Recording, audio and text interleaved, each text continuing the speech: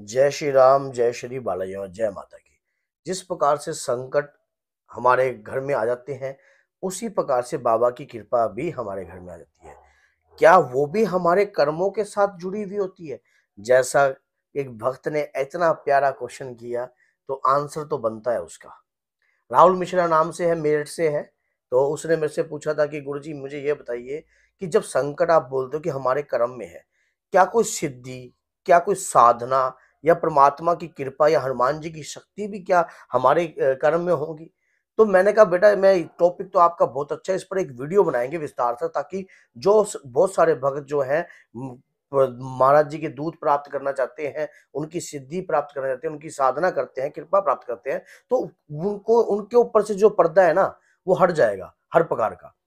क्या होता है कि जब हम भगवान की भक्ति करते हैं, पूजा करते हैं, उनके नाम का नित्य सिमरन करते हैं तो उनकी शक्ति तो हमारे पास आती ही आती है। इसमें कोई भी संदेह मत करना आप। इससे संदेह हटा दो। इस मैटर से आपके मन में जो अगर संदेह है तो उसको हटा दीजिए।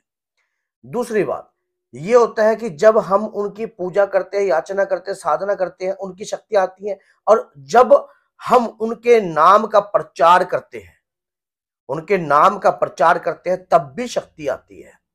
ये बात भी दूसरा बात पॉइंट भी नोट कर लेना। अब ये तरंगे क्या होती हैं? जब शरीर पर तरंगे कब आती हैं?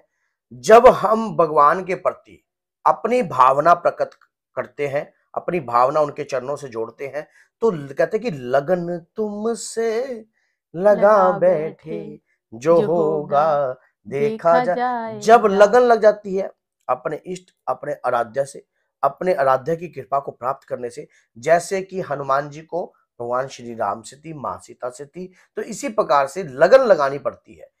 जब लगन लग जाती है तो उनकी तरंगे अपने आप ही हमारे शरीर पर आने लग जाती हैं। उस तरंगों का ओरा हमारे शरीर के इर्द गिर्द बनने लग जाता है। और हमारे कर्म के ऊपर बात रह गई। पिछले जन्म में बाबा, पिछले जन्म में बाबा, तेरे हम पुजारी थे तेरे हम पुजारी थे आज भी है और कल भी रहेंगे। ये सच्चाई है। जब पिछले जन्म का कोई कार्य होता है उस कार्य को जिस भक्त ने देखिए एक होता है मोक्ष आदमी को मोक्ष प्राप्त हो जाए जन्म मरण के चक्रों से ही खत्म हो जाए आदमी। एक होता है कि बाबा की कृपा बननी है बाबा की कृपा धर्म के प्रति कार्य करना है। हे बाबा, ऐसी कृपा प्रदान कीजिए। वो होते हैं दूत महाराज। जब हम नित्य अपने इष्ट की भक्ति करते हैं, अपने हनुमान जी की सेवा करते हैं तो मरण उपरांत भी बाबा के वीर, बाबा के दूत हमें लेके जाते हैं। यमदूत नहीं तो उस दौरान उनकी सानिध्य में रहकर वहाँ भक्ति का आदेश प्राप्त होता है। अब जो भक्त धर्म के प्रति प्रचारिक कार्य करते हैं, अगर कुल में कोई श्रेष्ठ व्यक्ति होता है, कुल में अगर कोई श्रेष्ठ व्यक्ति होता है जिसको लगता है कि भगवान की भक्ति करता है, अच्छी भक्ति याचना करे तो वो दूत महाराज तरंग के रूप में, वो दूत महाराज की तरंग के रूप में आपके घर में आते हैं, आपको जगाने। कि जाग जाग पुत्र जाग, मैं तेरे खानदान का ही हूँ और तेरे खानदान के अंदर जो है हनुमान जी की भक्ति चलती थी। उठ और अपने इष्ट आराध्य की भक्ति कर ये भक्ति युगो युगांतरों से चलती आ रही है, तब वो शक्ति हमें जगाती है। अपने अपने प्रभु के नाम का सिमरण करने, कहते हैं ना कि जो जीतता भी कार्य भगवान का करता है तो मरता भी कार्य भगवान का करता है। ये बात हमेशा याद रखना। इसी के प्रकार से अब आगे सिद्धि। सिद्धि क्या है? भगवान की अष्ट सिद्धि, नवनिधि का थोड़ा सा अंश। हमें अगर प्राप्त हो जाए तो हम दिव्यवान हो जाते हैं। क्या हो जाते हैं? दिव्यवान। मान लो बैठे बैठे आप कहीं हज़ार गुना ज़्यादा मान लो कहीं भी विदेश में बैठे देखकर कोई कहीं बैठा हो क्या कार्य कर रहा हो देख सकते हो। सूक्ष्म रूप दई सिया दिखावा विकट रूप दरी लंक जरावा भीम रूप दरी असुर सहारे। सिया राम जी के कार्य तो ये क्या थी? ये अष्ट सिद्धियों की कृपा ही थी हनुमान जी पर। तब जाके उन्होंने अनगिनत रूप धारण किए। अपने सूक्ष्म रूप भी धर लिया।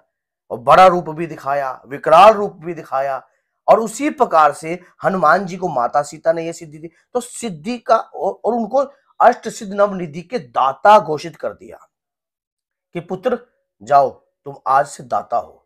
ऐसे ही जब हम उनकी भक्ति करने लग जाते हैं, नित्य उनकी कृपा प्राप्त करते हैं तो आपकी जो दूत महाराज हैं, वो ही आपकी रिपोर्ट की फ़ाइल आगे प्रवेश करते हैं कि ये बच्चे में भक्ति है। अब इन्हें बाबा की तरंगों की कृपा और बाबा की सिद्धियों। की कृपा की आवश्यकता है क्योंकि ये व्यक्ति धर्म के प्रति सानिध्य में रहकर प्रचारिक रूप कार्य कर रहा है। और क्या कर रहा है? धर्म का प्रचार कर रहा है।